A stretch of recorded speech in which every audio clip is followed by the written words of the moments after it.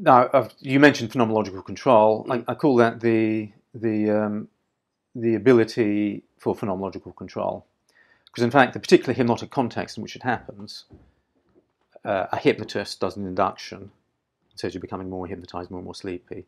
That's not that, that that's all a relic of the 1800s. Well, that's an important thing to clarify. Perhaps even before we go further into the Yeah. actual research itself and the, the reality of it, I think it's important to address that because I think for some people, when you just hear hypnosis, all Mm. kinds of things jump ahead, like, you know, Yeah. fortune tellers, all these sorts of things. Yeah. But it's a very real, so again, from just my limited experience, just reading about this and some of the articles you sent for me to read, you understand very quick. No, this is very real science. This is this is not. Um, it's just some kind of thing people do for entertainment, if you like. Um, Exactly. Now, people, I found even scientists have have a, have a sort of a, a split personality about hypnosis. Mm. On the one hand, as you say, it smacks of sideshow circuses, um, you know, rather flaky stuff.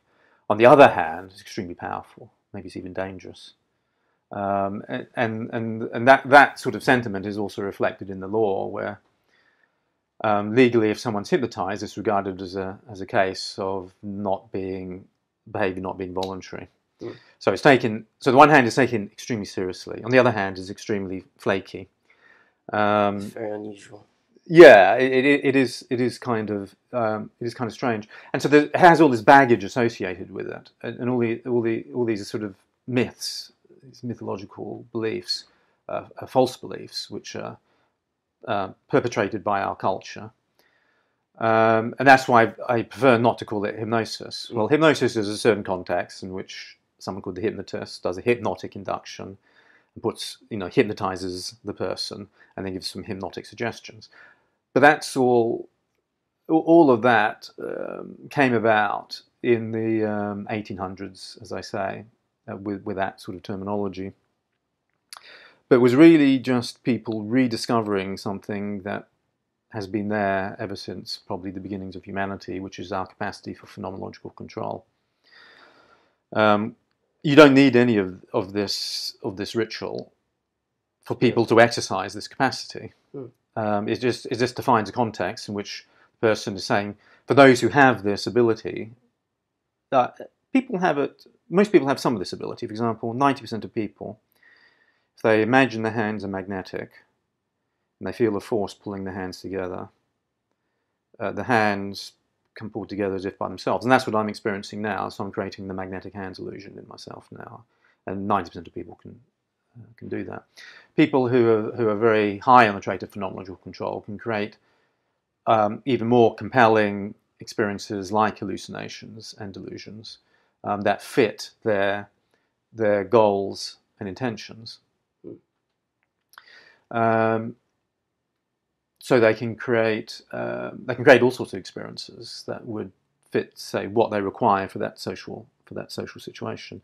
Let's say you're in a church and um, what's meant to happen is because evangelical that the Holy Spirit descends upon you and you talk in tongues. Well, you create the experience of the Holy Spirit descending upon you and you talk in tongues, and it'll feel to you like the Holy Spirit is descending upon you. It's not you talking in tongues; it just happens to you that's that's what the the uh, ability for phenomenological control is. It's ability to construct experiences that systematically misrepresent reality, but you don't know that you're doing it. But nonetheless, you do it in order to satisfy your own goals, I see, and that's the key. and that's the key. Right. Uh, and that, that's why it's confused people because people are doing it for their own goals, but part of your own goal is not knowing that you're doing it. Hmm. Because if you knew you're constructing the experience of talking in tongues, well, that wouldn't be the Holy Spirit doing it then, would it? No. So you have to fool yourself.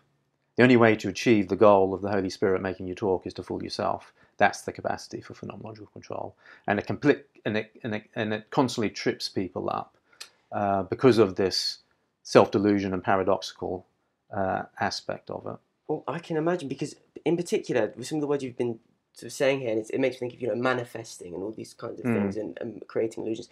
These are terms that I'm seeing, or you see more and more. Actually, perhaps it's actually always been a thing, but I've just seen more and more in relation to people who are trying to start a business or they're Mm. trying to achieve you know a lot of money and success. You hear a lot of this rhetoric online, in particular on social media, of people that you've got to manifest it, you've got to believe, you've got to become Mm. essentially delusional. Right. But the thing is, you also it's a double-headed coin because I I can imagine that there's a lot of benefit to having this kind of delusional sense of a kind of greater purpose. I can imagine. I, I, I bet, and that's what we're going to get into is how this can lead to kind of actually phenomenal things actually happening Yeah. because it is a, a strange phenomenon.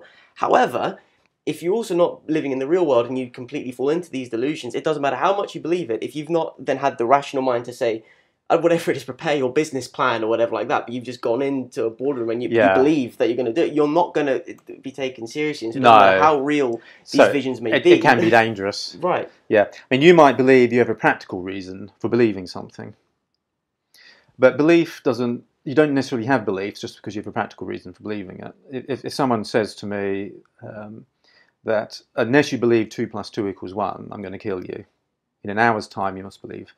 So this is an example from the philosopher Derek Parfit.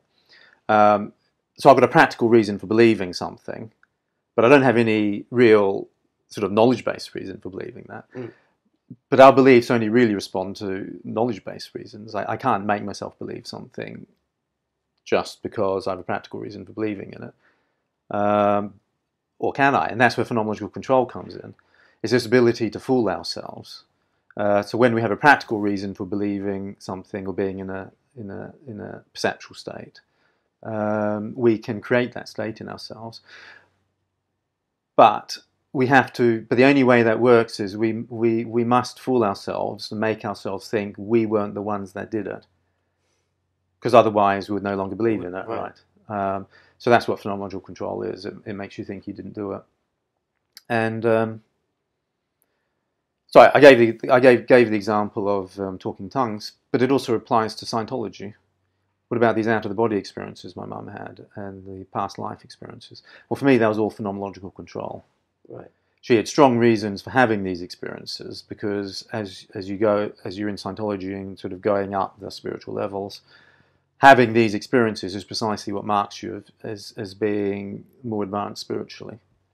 So if you're the sort of person who can construct these experiences of being able to remember past lives, leaving your body, um, speaking to other spirits, uh, then wow, you know, you're making it. You, you're you're you're going up, and you're more respected in the group.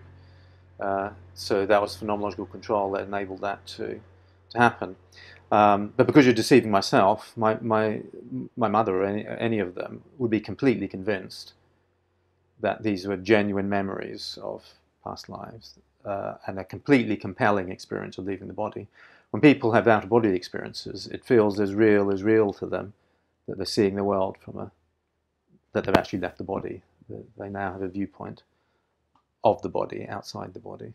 So could we go in perhaps to your mother's out of body experiences Mm. in a little bit more detail? Obviously, whatever you'd be comfortable sharing, but in Mhm. terms of what what did they actually entail? What what really occurred when we, and what do we really mean when we say like an outer body experience? Well, um, so uh, so uh, so I'd say sort of a classic out of the body experience is you you know right now it seems to you you have a certain location. If you ask most people where are you, you say well I'm here. No, but where are you exactly? Are you in your fort? You say well, well no, my fort's down there. Um, most people think if they if you sort of push them a bit, that they don't really reflect on this necessarily much. But um, sort of behind the eyes in a point sort of round about this far back from the eyes something something like that. That's we, we have a sense of a sense of a location. Some people actually say the heart um, but most people it's sort of round about where the eyes are and just Mm. back a bit in, in, inside the head. Um, and that that sort of location is partly given i guess by the visual experience we have because any visual experience implies a point of perspective, Right. the viewing point. If you, even if you look at a picture, there's a there's a, an implied viewing point for that uh, for that for that picture. So our our sort of um, mental representations have an implied viewing point, which is which is where we are, as it were. Now, when people leave the body, that viewing point shifts to maybe the ceiling. Um, I knew a couple of uh, PhD students at Sussex who, when they gave talks, they suddenly find themselves on the ceiling, uh, looking down at themselves, um, giving the talk. Um, and that, when that happens, uh, it seems completely real, just as you looking at me now.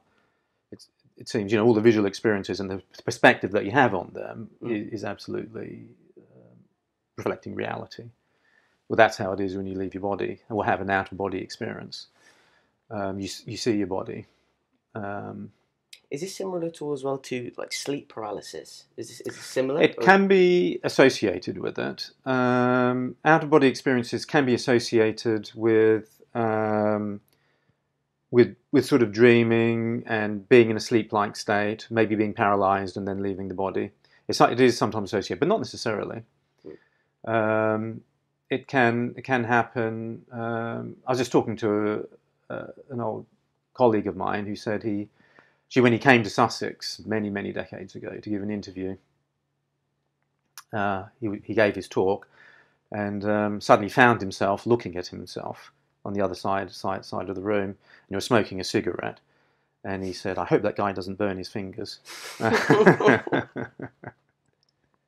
so it wasn't, it wasn't for him, he wasn't especially associated with anxiety. It Hmm. can be a sort of, maybe the, the PhD students who told me about it said was sort of associated with an anxiety of giving a talk. So they sort of dissociate a bit.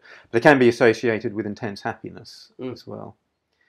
Um, but the, but the, the key feature of it is you view, you view you, your, your point of view is from outside the body.